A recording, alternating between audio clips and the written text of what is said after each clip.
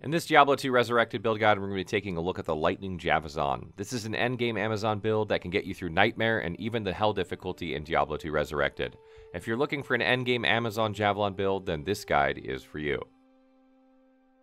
The Lightning Javazon is one of the highest DPS builds in Diablo 2 Resurrected. Using the Lightning Fury skill to deal with crowds of enemies from a distance, and Charge Strike to deal with bosses and elites in melee combat, this build can clear any type of content in just a couple of seconds. This Diablo 2 Amazon build is intended to be used for Nightmare and Hell difficulty starting around level 40. You can start the game with this build, but I personally recommend you use our Poison Javazon build instead, and then respec into this one. If you're already playing and want to respec into this build though, the easiest way to do it is by claiming the Den of Evil reward from Akara at the Rogue encampment. You'll get 3 respecs, one for each difficulty, and you'll need to be on the same difficulty to reclaim them. Like most builds in Diablo 2 Resurrected, our stat distribution will focus on assigning enough points into strength and dexterity to meet equipment requirements, and then assigning everything else into vitality to gain as much life as possible. Having a Hellfire Torch and an Annihilus will greatly reduce your stat investment into strength. These unique charms provide between plus 10 to 20 to all attributes and 10 to 20 to all elemental resistances.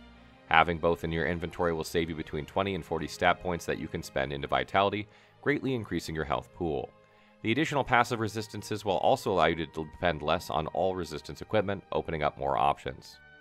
If you don't have a Hellfire Torch or an Annihilus yet, I strongly recommend that you get them as soon as you can.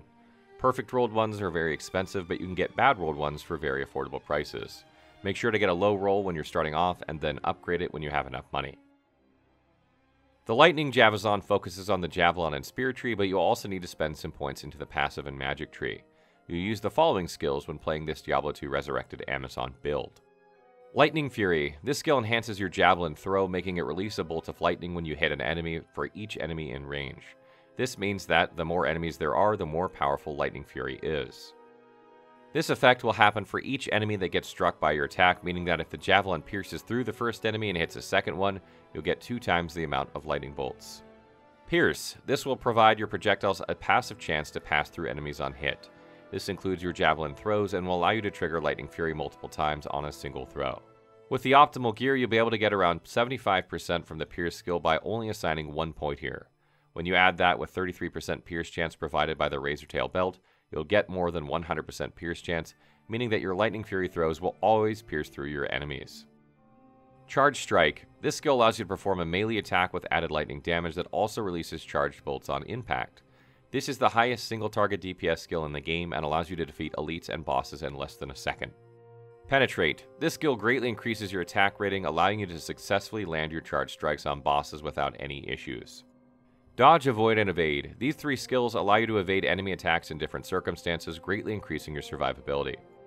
Valkyrie, optional. I personally like to spend one point here to use the Valkyrie as a meat shield. It's very important to keep your mercenary alive due to infinity weapon effects, and the Valkyrie will draw attention away from him. Since this guide begins at level 40, you'll first want to focus on your Lightning Fury and Charge Strike, and then later on unlock your Valkyrie and max out the synergies. You should have around 43 skill points at level 40, 39 from levels, and 4 from quests. You should have your skills placed in the following manner.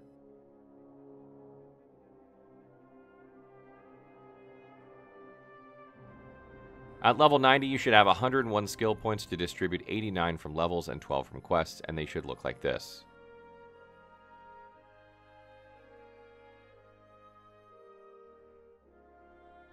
When you're first starting off, you'll obviously have less gear, so here are some cheap rune words and unique items that you can use while you search for better gear. First up is helmets, and the first one is the lore rune word. This helmet provides plus 1 to all skills as well as plus 30% lightning resistance. You can farm the runes for this by completing Nightmare Countess. When it comes to weapons, you want to look for javelins of all rarities. Try to search with magic javelins with plus 3 to javelin and spear skills, or rare javelins with plus 2 to Amazon skills. As a secondary mod, you want to search for attack speed and life leech. For your shield, you'll want to use Ancient's Pledge Rune Word. This shield doesn't provide plus skills, but compensates by granting a huge boost to resistances, allowing you to survive early hell. For armor, you want the Peace Rune Word. This is a great option early on and provides plus 2 to all skills, faster hit recovery, cold resistance, and provides a chance to cast Valkyrie on striking. When it comes to gloves, be on the lookout for something that has plus javelin skills and attack speed. Until you find that, focus on defensive stats such as life and resistances. For the belt, you'll want something with life and resistances. You'll want to search for faster run walk speed on your boots as well as resistances and life. You want to search for rings that have life, life leech, and mana leech stats and resistances. Try to find an amulet that provides stats, health, resistances, or plus Amazon skills or plus javelin skills. For charms, you'll mainly want to look for plus life, plus resistances, plus attack rating, plus damage, and plus javelin skills. Once you're reaching max level, you'll want to start searching for the following equipment to complete your character. For helmets, you want the Griffon's Eye Unique. This helmet greatly increases your lightning skill damage and reduces enemies' lightning resistances, making it a perfect match for this build. The plus skills and defense are also great. You can insert a lightning rainbow facet to further increase your lightning damage, a Ral rune or any other resistant rune, or a Cham rune for it cannot be frozen, which will free a ring slot. There are a couple different options when it comes to javelins, and they all have different dexterity requirements, so consider what you'll want to use so you can better distribute your stats. Titan's Revenge unique. This javelin provides a lot of plus skills, strength, dexterity, plus 30% faster run walk speed, and has a massive stack size that auto replenishes, meaning that you often don't have to worry about going back to town. I personally prefer Titans over the other options, mainly because of the run speed and stack size. Thunderstroke unique. If you want to maximize your damage output, then this javelin not only provides plus skills, but also increased attack speed, a massive amount of flat lightning damage, it lowers enemies' lightning resistances, and has a chance to cast lightning on hit.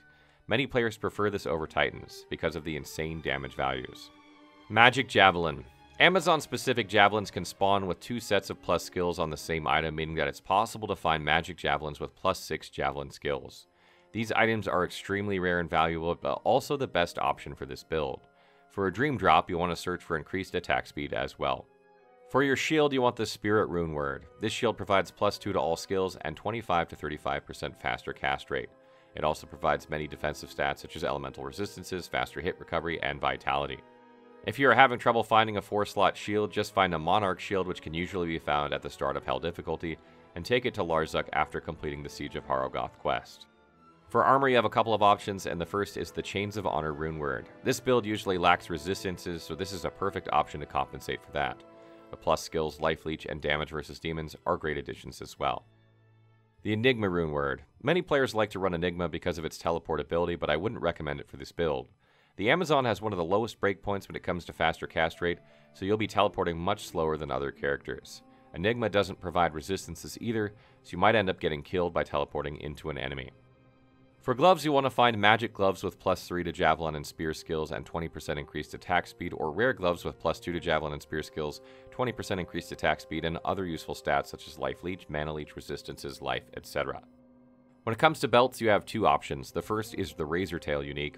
As previously mentioned, this belt provides you with an additional 30% chance to pierce enemies. This stacks with your own pierce skill, providing you a 100% proc chance, which greatly increases your overall performance when using Lightning Fury. The second option is Thunder God's Vigor unique. This belt is another great option as it increases your damage by providing plus 3 to Lightning Fury and a flat lightning damage bonus. It also provides strength, vitality, increases your lightning defense with lightning absorb, and increased maximum lightning resistance.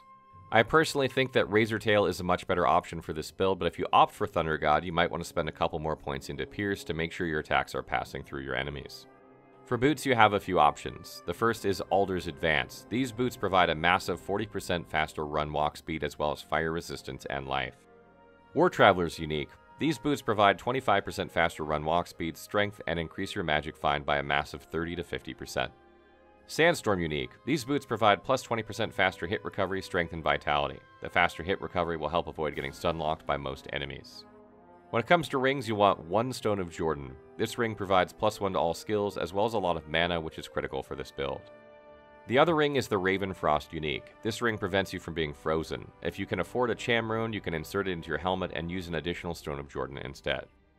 There are a couple of amulets that you can use. The first is High Lord's Wrath Unique. This amulet provides plus one to all skills, lightning resistance, lightning damage, and increased attack speed. The other option is Mara's Kaleidoscope. This amulet provides plus 2 to all skills, as well as 20 to 30 to all resistances, and plus 5 to all attributes. For charms, you'll mainly want to look for plus resistances, plus life, plus attack rating, plus damage, and plus javelin skills. The plus resistance charms are very important, as this build lacks resistances on hell difficulty. When it comes to mercenaries, you want to get the Holy Freeze mercenary from Act 2 Nightmare for this build. The Holy Freeze aura is great for dealing with large crowds of enemies. When it comes to equipment, you'll want to get an Infinity rune word for the weapon, a Fortitude rune word for the armor, and Vampire Gaze for the helmet. The Infinity Rune Word is very important for this build as it greatly reduces enemies' lightning resistances, allowing you to even kill lightning immune enemies. Final tips. This build consumes a lot of mana, so make sure to run at least two or three mana columns. Ethereal Titans restock on their own, but if you're spamming them too much, you may end up with idle time. If this is constantly happening, consider getting a second stack of Titans to swap them out while they're restock. Lightning Fury works best against large groups of enemies. Luring all enemies in the area into a single group will allow you to defeat them in a single attack, which is not only very fun, but saves a lot of time.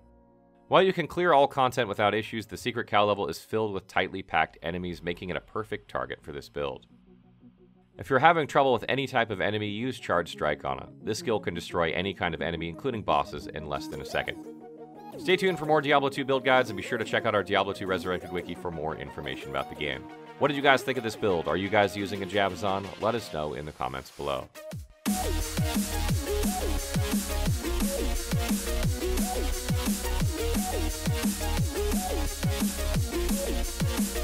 be right back.